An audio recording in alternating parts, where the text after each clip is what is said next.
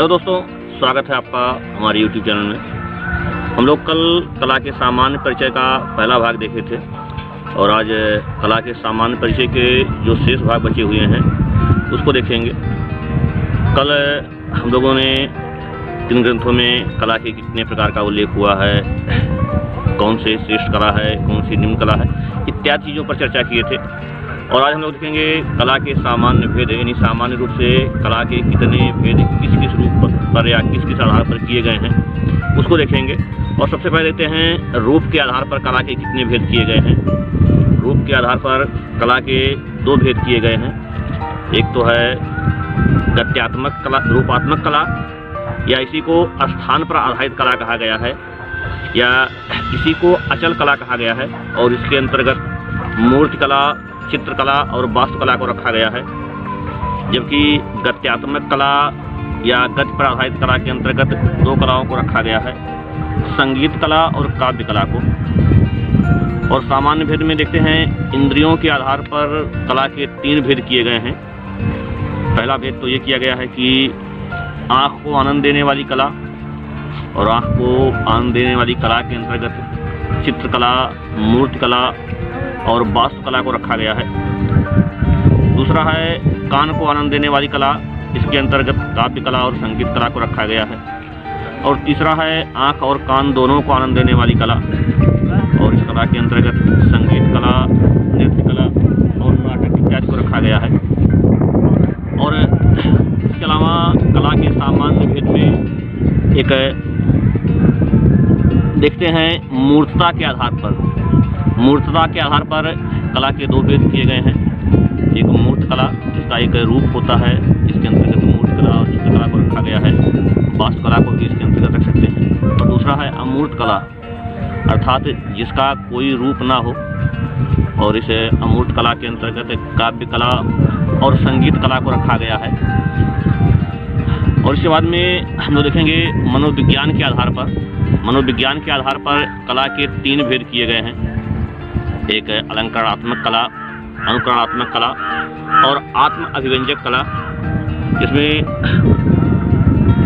अलंकरणात्मक कला के अंतर्गत श्रृंगार कला अनुकरणात्मक कला के अंतर्गत चित्रकला, मूर्ति कला और आत्म अभिव्यंजक कला में कहा गया है कि इस कला के अंतर्गत मनुष्य अपने भावों को चाहे कविता के माध्यम से, नृत्य के माध्यम से इत्यादि तरीके से व्यक्त कर सकता है।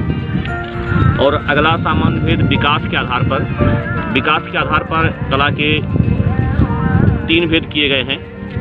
एक तो है प्रतीकवादी कला और इस प्रतीकवादी कला के अंतर्गत प्रतीकों के द्वारा चीज़ों को व्यक्त किया जाता है। जैसे हम लोग धर्म में भी देखे हैं, महात्मा बुद्ध के जन्म का प्रतीक कमल है, हिंदू धर्म में सुख समृद्धि का प्रतीक स्वास्तिक है। और तमाम यातायात के सड़कों पर हम लोग यातायात के माध्यम से जो है तमाम से, चित्रों से व्यक्त किया जाता है। और दूसरा है अभिजात्यवादी कला। अभिजात्यवादी कला, या इसी को शास्त्रीय कला कहा गया है, जिसमें भावों की अभिव्यक्ति बड़े ही ठीक तरीके से की जाती है। और तीसरा है स्वच्छंदतावादी कला या भावात्मक कला। और इस स्वच्छंदतावादी या भावात्मक कला में अपने भावों को किसी भी रूप में व्यक्त किया जाता है। तो इस तरह से कला के हम लोग सामान्य भेद देखे हैं और आप लोगों को कल बताए भी थे कि कलाओं में जितने भी पाश्चात्य विद्वान हैं, सभी ने कहा है कि कलाओं में काव्य कला सबसे श्रेष्ठ होता है। कल हम लोग हीगल को देखे थे। हीगल ने क्लासिफिकेशन ऑफ़ फाइन आर्ट में पाँच ललित कलाओं का उल्लेख किए थे। उसमें सर्वश्रेष्ठ कला के रूप में काव्य कला को रखे थे। और बर्षफोल्ड ने भी काव्य कला को सबसे श्रेष्ठ माना है। लेकिन जितने भी भारतीय विद्वान हैं, भारतीय ग्रंथ हैं, उसमें चित्रकला को सबसे श्रेष्ठ माना गया है। और विष्णु धर्म उत्तर पुराण में एक श्लोक भी मिलता है, कलाराम प्रौढ़ चित्रम धर्मार्थ काम मोचिदम अर्थात कलाओं में चित्रकला सबसे श्रेष्ठ है।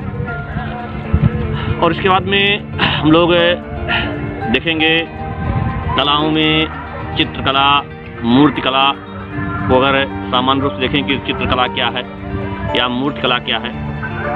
तो अगर हम लोग चित्रकला को देखें तो सामान्य रूप से कहा जाता है कि चित्रकला जिसके दो आयाम होते हैं, लंबाई और चौड़ाई, या कह सकते हैं दो बीमाएँ होती हैं, या टू डायमेंशन होते हैं टू डी होते हैं।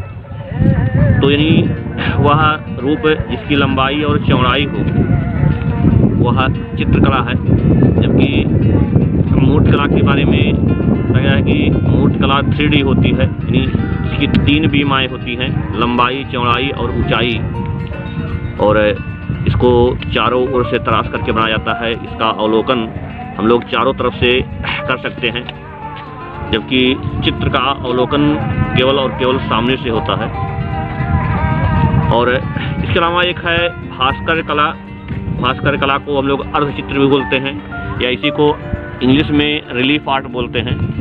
और रिलीफ आर्ट दो प्रकार के होते हैं, एक है हाई रिलीफ, एक लो रिलीफ। हाई रिलीफ या इसी को हिंदी में उच्च भास्कर कहा गया है।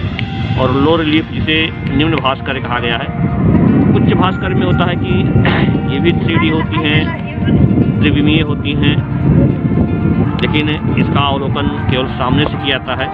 और जो उच्च भास्कर होता है, उसमें आकृतियाँ ज़्यादा उभर करके सामने आती हैं, जीवंत तो दिखती हैं, जबकि निम्न भास्कर में चपटापन होता है और यहाँ ये भी त्रिविमीय होती है, लेकिन आकृतियों में चपटापन होता है ज़्यादा उभर करके सामने नहीं आती है। तो ये भास्कर कला है और भास्कर कला के अंतर्गत हम लोग देखे थे तो तमाम पत्थरों पर भास्कर कला का उदाहरण पेश किया जाता है, मिट्टी पर किया जाता है, धातुओं पर किया जाता है। और एक चैप्टर बचता है भारतीय कला की विशेषताएँ। भारतीय कला की विशेषताएँ हम लोग अगले वीडियो में देखेंगे। इस वीडियो में बस इतना ही। और जिन लोगों ने अभी तक हमारे चैनल को सब्सक्राइब नहीं किया है, सब्सक्राइब कर लाइक करें, शेयर करें और कमेंट में हमें सूचित करें कि आपको कैसा लगा वीडियो। धन्यवाद।